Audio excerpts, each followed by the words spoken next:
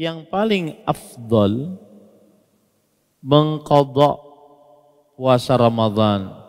Baru setelah itu mengerjakan puasa sunnah. Yang paling afdal adalah mengkodok puasa Ramadan. Misalkan ada orang punya hutang di puasa Ramadan dia kodok dulu. Baru setelah itu dia ingin puasa sunnah puasa Senin Kamis puasa 13, 14, 15 puasa Daud atau puasa uh, Syawal terserah saja yang penting dia uh, lebih afdal untuk menyempurnakan puasa dahulu. Hutang-hutang puasa dia bayar seluruhnya. Terima kasih. Jazakumullahu khairan wa barakallahu fikum. Video ini dibuat atas partisipasi dari donasi Anda. Semoga menjadi amal jariah bagi Anda semuanya.